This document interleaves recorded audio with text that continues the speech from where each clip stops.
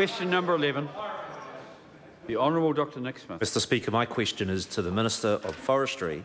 Does agree with the statement in the speech from the throne, quote, this government is committed to a new planting program, planting 100 million trees a year to reach a billion more trees in 10 years.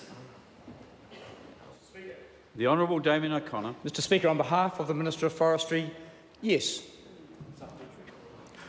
Will the government be counting in its 100 million trees new planting program the 50 million trees currently planted each year to restock foresters, forests that are harvested each year?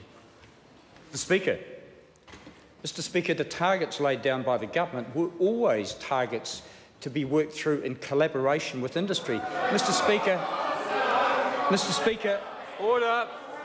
Eh, as good as this government is, I don't think we ever thought that we would be solely responsible for the planting of a billion trees. We were always going to work with industry to do that. Order, Mr Speaker. A point of order, the Honourable Dr Mr Speaker, my question asked very simply, that was, was the replanting of areas that are logged each year included in the 100 million target? And, and, and the, member, Minister made and the no member attempt. did address that question. Or Further supplementary. supplementary, the Honourable Dr Nick Smith. Will existing annual tree planting for restocking be counted towards his promised 100 million new planting program? Speaker.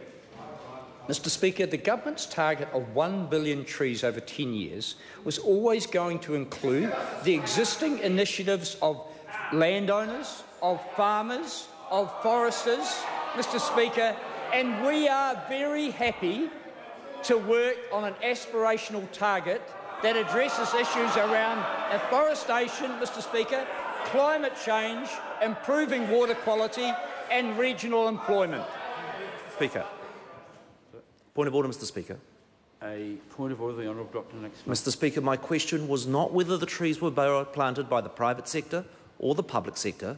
It was a very straightforward question, and, that was, and- and would was- within the it was 100 million.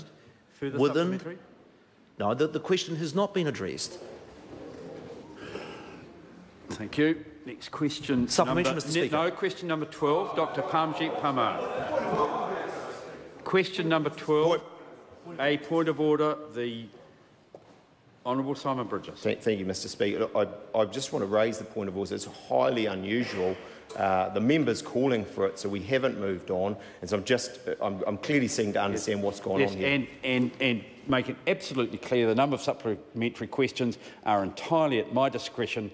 I have decided, because of the interjection from Dr Smith, uh, I will not allow any further government or opposition supplementaries on this question. Doctor, it's, I'm not taking away if the, member want, if the members want to use them on the next question, they can, uh, but not on this one uh, because of Dr Smith's behaviour.